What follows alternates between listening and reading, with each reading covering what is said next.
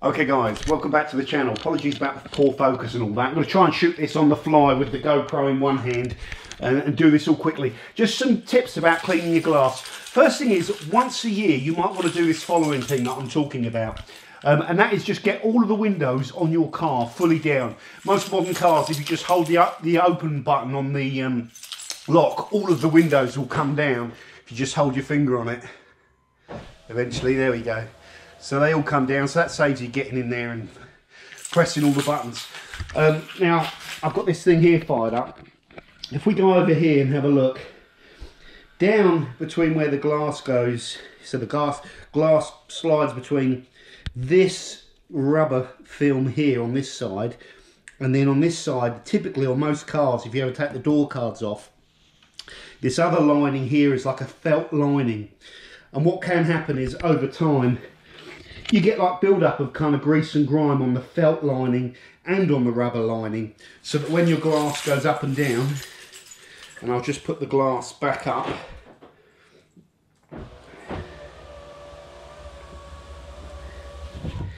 It builds up kind of muck um, and all of that wet looking stuff that you can see is actually on the inside so it's probably a little bit of moisture. Um, in fact it's not all on the inside sorry but some of it if I let me get a cloth so if I just take that off the outside, so I'm just buffing that wet stuff off. This is from where I've washed it. On the inside, hopefully you can see this on the camera. If I change lines, there's all these marks from where it's smearing on this felt lining. And um, you can spend ages cleaning your glass and then lower the glass down and rise it back up again and get all those marks. So I'm going to lower this back down again. Jesus. Good job, I've got a good battery in this car.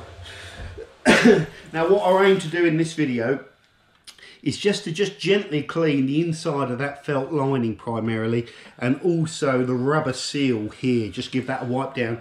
And also all of this bit here because again you can see here you've got felt lining which the glass comes and sits to. So the build up of kind of dirt will um, when the glass hits it it will rub off on the glass. So you don't have to do anything too clever here um, in this box, I've got most of the gear I use for kind of glass cleaning.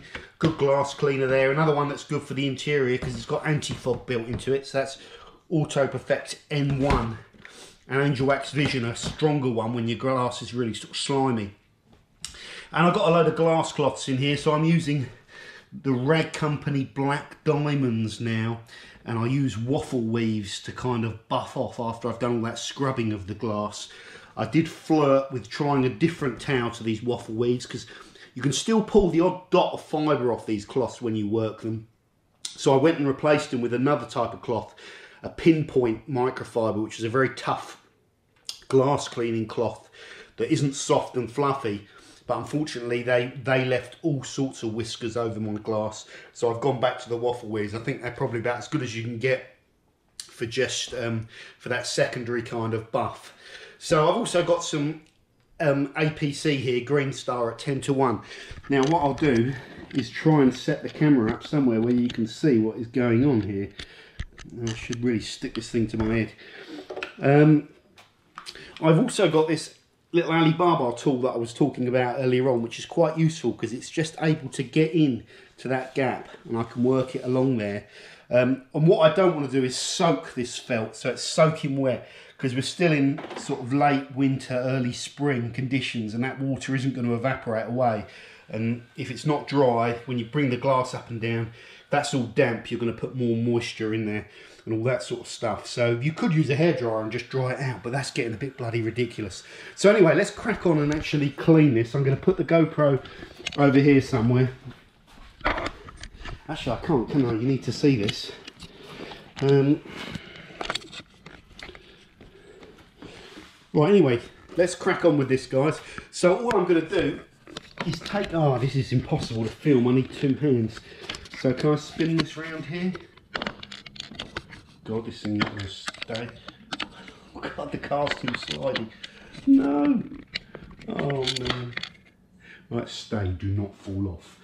Right, all I'm going to do, a little bit of Koch Green Star, squirt it in there, either side, then I've got a little bit of APC on this microfiber now, which is you know, going to clean and degrease this area. So if I just bring you in, I'm going to just work this. Let me press the button so I can see what I'm doing. I'm just going to work this up and down here. Could use a little brush as well, but this just seems quite, this first time I've used this tool, by the way. I thought it'd be handy, and it is. Just going to give this a flip.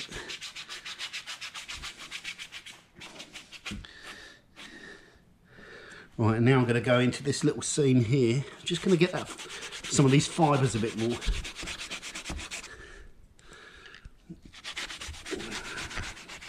Do not look at the state of these A-pillars. We're going to sort those out when I polish the car. They're a dog's dinner.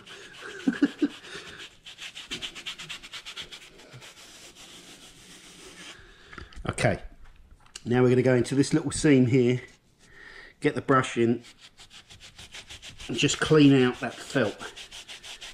You see that? Spin it round. And then I want to get the little bit of rubber there.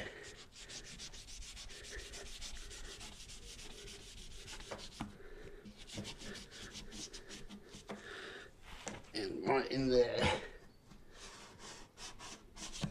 Okay, so you can see this is going kind of very dirty now, this thing. But that's what it's there for. And now I'm going to take a waffle weave cloth. I want to use something with no no like fibres on it or anything like that, guys, because this is all kind of rough textured finish.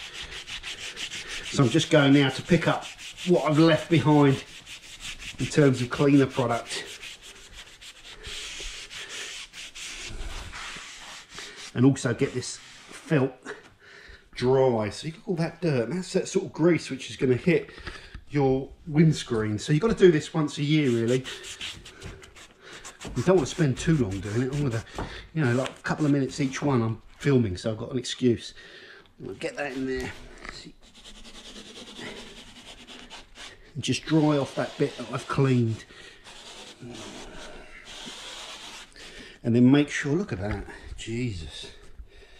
And then make sure I hit the rubber bit there and rub it all along there. Okay. So there's some of the grease and grime that builds up in there guys. And um, that is sliding up and down your glass every time. And this is a relatively new kind of new car so that bit dirt does build up in there and doing this um, perhaps at least once a year is just an important thing. Now, what I can do now is just wind this window up just a little bit. If this, oh no, where's the keys? Here we go. So let's do this. And stop. All right, good. Unlock. And uh, what I can do now uh, as well, guys, is just clean you know, I should really get the glass cleaner on this as well. But I'm just going to clean this top ridge.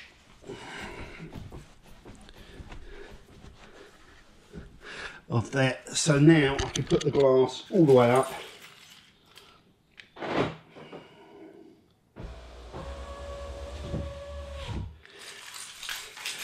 And at this point, that glass is now ready for me to actually properly go in and clean the inside and clean the outside if I wanted to of the glass. Um, but like I say, once a year, it's well worth doing this, guys.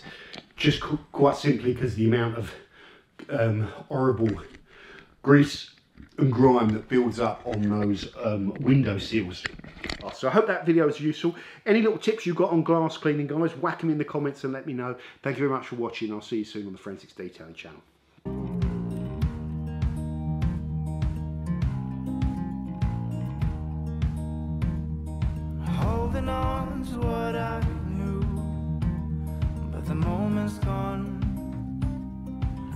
was I?